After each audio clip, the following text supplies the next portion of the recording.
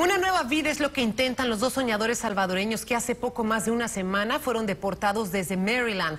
Una cita rutinaria con ICE se transformó en realidad en un viaje de vuelta a su país. Lisandro y Diego Claros viven un verdadero drama en el lugar que los vio nacer y a donde los visitó Samalí Dinarte.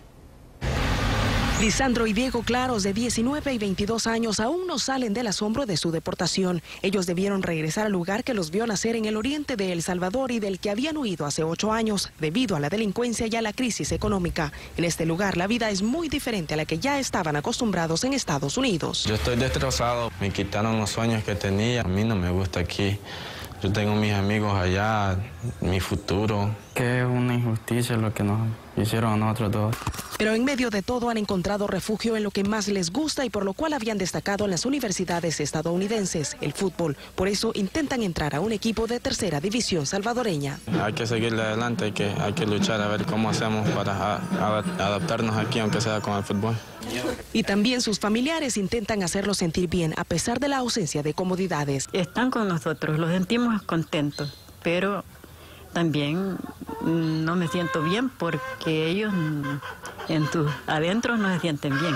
Y es que los hermanos Claros, dos soñadores que vivían en Maryland, jamás pensaron que una cita rutinaria con agentes de ICE para tramitar un cambio de residencia terminaría en su detención y posteriormente en su rápida deportación. No, pues traicionado. No solo fue un golpe para ellos, sino también para su madre, quien estaba dando una entrevista a Telemundo cuando supo sobre su situación. Ellos insisten en que fue una injusticia que hicieran efectiva una orden de deportación vigente desde el 2012 por falta de documentos, sin tomar en cuenta que habían llegado cuando apenas eran unos niños. No hemos cometido nada y nos están sacando como que si fuéramos los peores criminales. A pesar de que aún no saben si podrán regresar a Estados Unidos, Lisandro no ha renunciado a seguir jugando fútbol universitario y Diego a convertirse en un profesional de la construcción y esperan que sus padres arreglen todo desde Maryland. En Usulután, El Salvador, Samalí Dinarte, Noticias Telemundo.